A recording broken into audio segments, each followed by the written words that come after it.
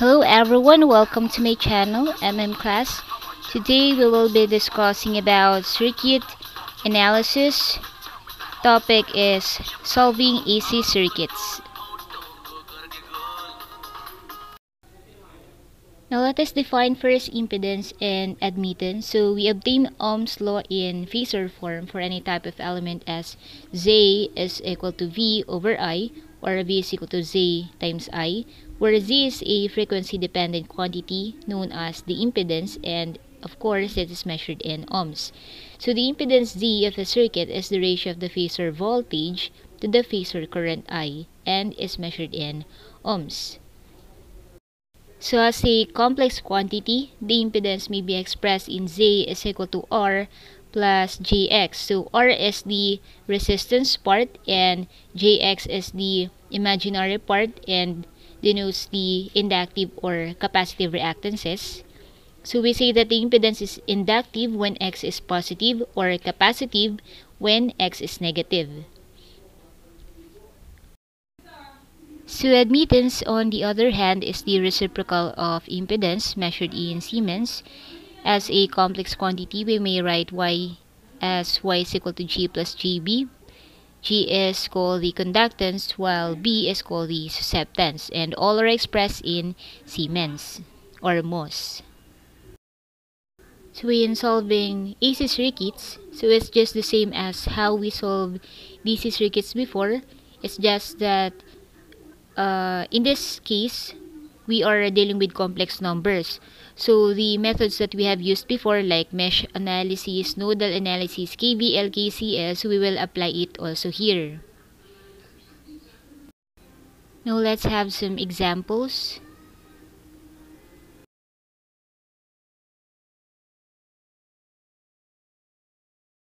We are asked to find the VFT and IFT of the circuit. Let us first find the capacitive reactance 1 over j omega c equal to 1 over j omega is equal to 4 times the capacitance equal to 0.1 farad equal to negative j 2.5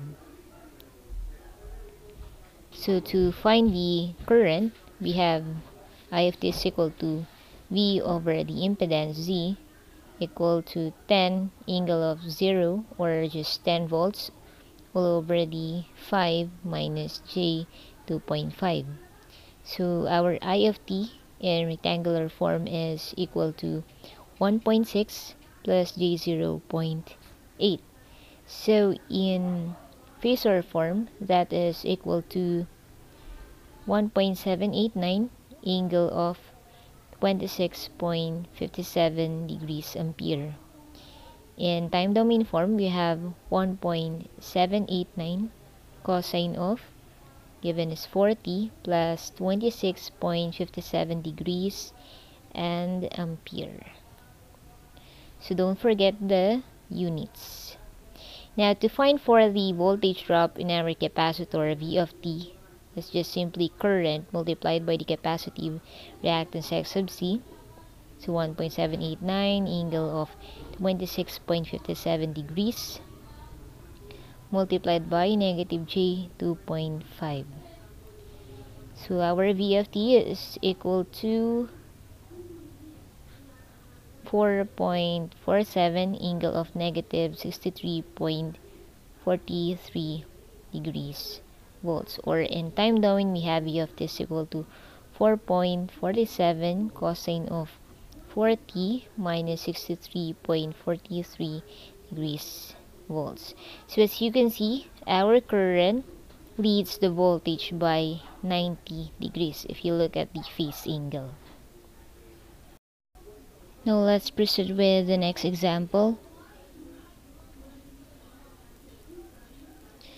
So same process earlier. So let's just look for inductive reactance J omega L. So J times omega is equal to 10 times 0.2 Henry. That's equal to J2 ohms.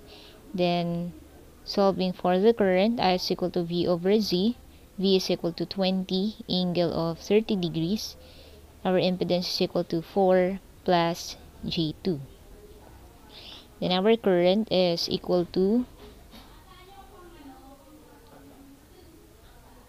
4.472 angle of 3.43 degrees ampere or in time domain form we have I of t is equal to 4.472 sine of 10t plus 3.43 degrees ampere. Now for the voltage drop in our inductor, so we have I multiplied by the inductor reactance. So 4.472 angle of 3.43 degrees ampere multiplied by x of L which is J2 so our voltage is equal to 8.944 angle of 93.43 degrees so our v of t in time domain is equal to 8.944 sine of 10t plus 93.43 degrees now as you can see the voltage leads the current by 90 degrees. So for the impedance combination, if we have a series connected impedances, total impedance equal to the summation of impedances. For calculating the current, that is equal to I is equal to V over Z1 plus Z2.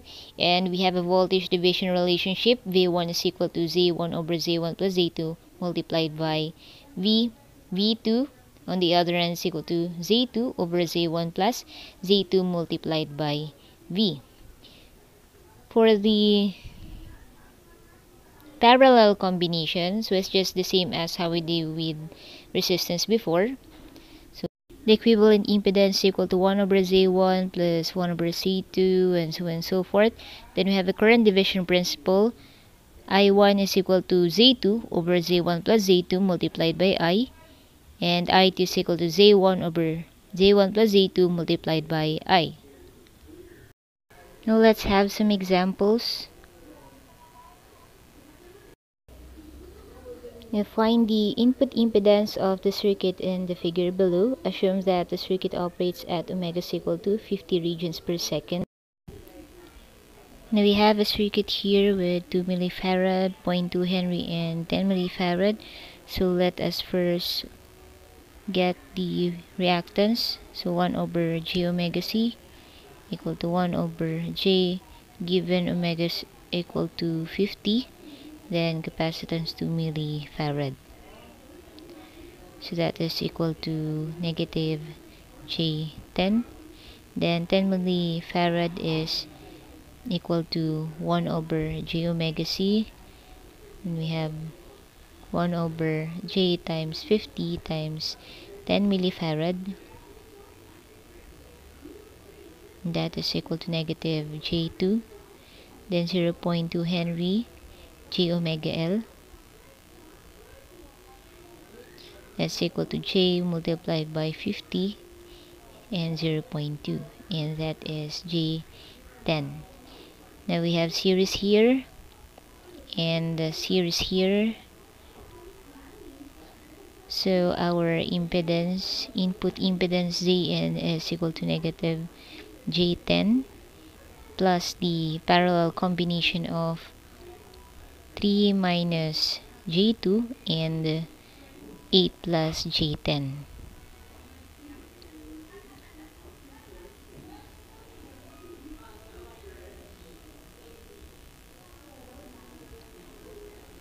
we have negative j10 plus 3 times 8 is 24 minus j16 plus j times 30 then we have negative j2 times j10 which is 20 then we have 11 plus j8 then let's just simplify. We have negative j10 plus 44 negative j16 plus j30 we have j14 over 11 plus j8 now we can multiply the conjugate 44 plus j14 multiplied by 11 minus j8 over 11 squared plus 8 squared. Or I can just type this in our calculator and complex mode. We'll get negative j10 plus 3.22 minus j 1.07 or a 3.22 minus j 11.07 ohms and that is our input impedance 3.22 minus j 11.07 and don't forget the unit ohms and that's it So in our next example, determine the input impedance of the circuit in the figure below. At omega is equal to 10 radians per second. Now let's look for the reactances first. So 0.5 millifarad 1 over j omega c equal to 1 over j times 10 times 0.5 millifarad that is equal to negative j 200 then 8 Henry is equal to J omega L. J times 10 times 8 Henry equal to J 80. Then 1 millifarad equal to 1 over J omega C or 1 over J times 10 times 1 millifarad and that is equal to negative J 100. So we have here a series and parallel combination so our input impedance is equal to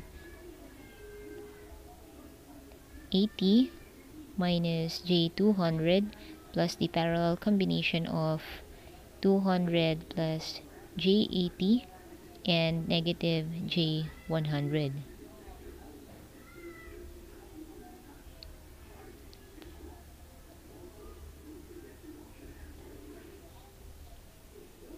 Now let's just simplify.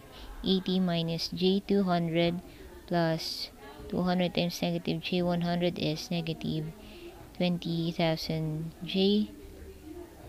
Then we have j80 times negative j100, 8,000 over 200 minus j20. So our input impedance is equal to 129.5 minus J 295.04 ohms.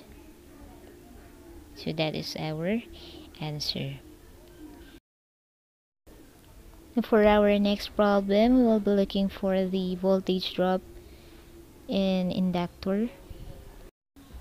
So to solve this circuit, let us find the reactances first. we have 1 over j omega c that's equal to 1 over j times omega given is equal to 4 times capacitance is 10 millifarad so we have negative j 25 then inductive reactance equal to j omega l this j times 4 times 5 henry and that's equal to j 20 so we have to look for the voltage drop of, of the inductor. First we have to find the input impedance 60 plus parallel combination of negative J25 and J20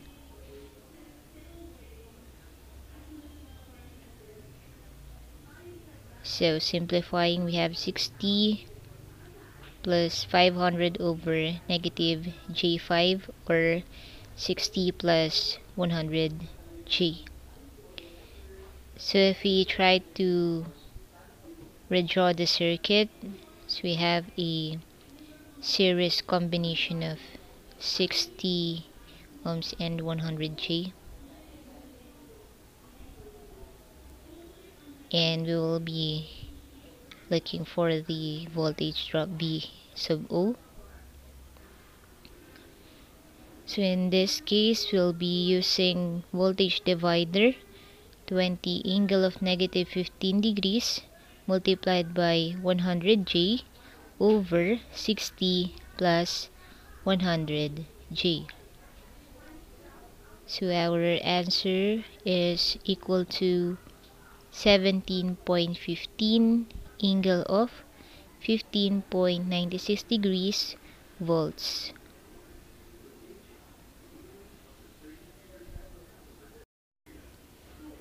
Next problem. So let us first find the reactances. So J omega L, J times 10 times 0 0.5 NV, that's equal to J5. Then we have 1 over 20 equal to 1 over J omega C, J times 10 times 1 over 20, that's equal to negative J2. So we have here a parallel and series combination. Input impedance J5 is in parallel with 10 ohms and in series with negative J2. Simplifying, we have J50 over J5 plus 10 minus J2. So our input impedance is equal to 2 plus J4 minus J2 that is 2 plus J2.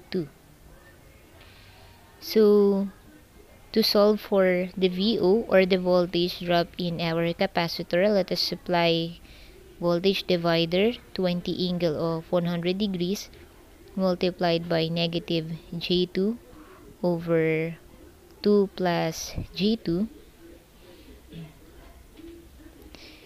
So we have 14.142 angle of negative 35 degrees. So what if we have a delta to y or y to delta transformation? So impedance combination is just the same as how we do the resistance combination before when dealing with delta to y and y to delta transformation. Now let us have some examples.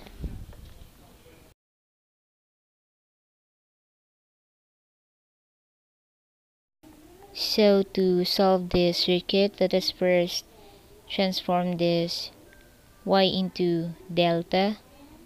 So I will just draw a guideline for me to easily visualize the transformation.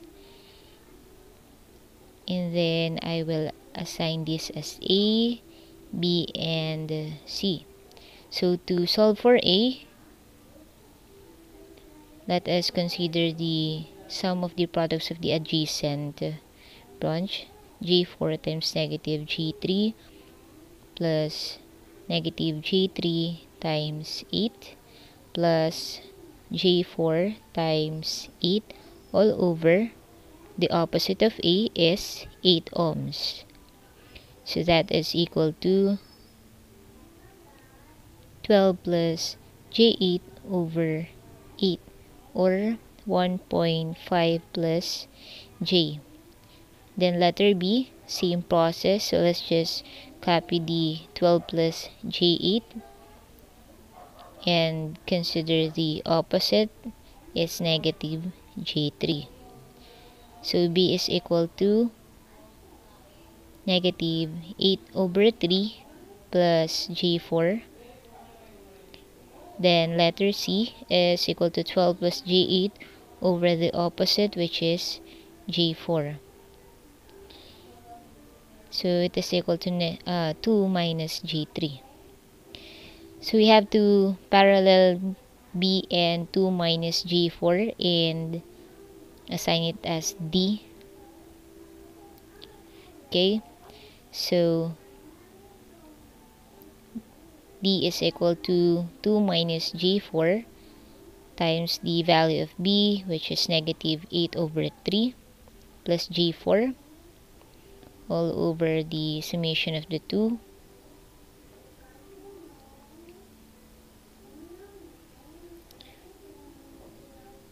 so our D is equal to negative 16 minus J28. Then next, parallel the C and this 8 plus G6 and assign it as letter E. So that is C in parallel with G6 plus 8. So let us solve it here. So our C is 2 minus J3. Then we have G6 plus 8. So our letter E is 304 over 109 minus J times 222 over 109. So I will just um, redraw the circuit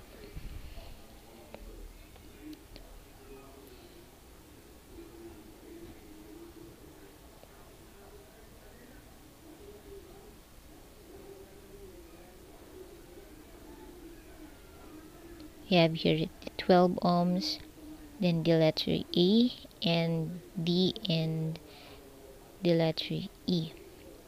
So we can now series D and E and assign it as F. So F is equal to D plus E.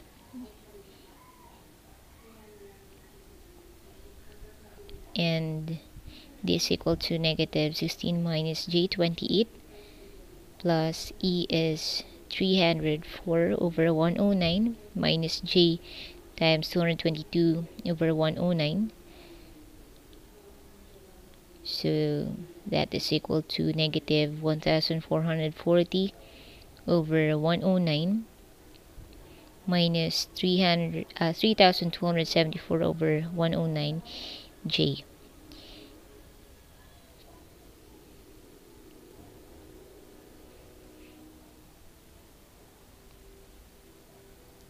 now we can solve for the input impedance parallel of A and F and series with 12 so we have 12 plus E is equal to 1.5 plus J. Let's just put the F value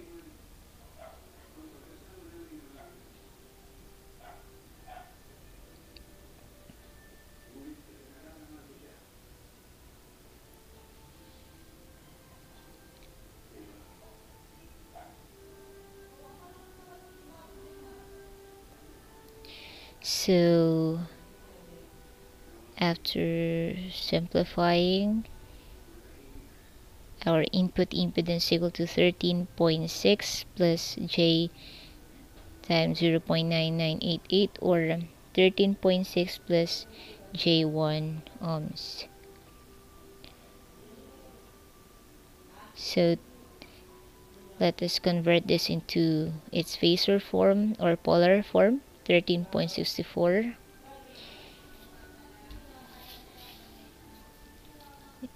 then we will look for the current. That's just simply Ohm's law. So I is equal to V over the impedance that we got. Our voltage is 50 angle of 0 and our input impedance equal to 13.64 angle of 4.2 degrees. So our current is equal to 3.66 angle of 4.2 degrees ampere. So that's it for today. If you have some questions just comment below. Thank you for watching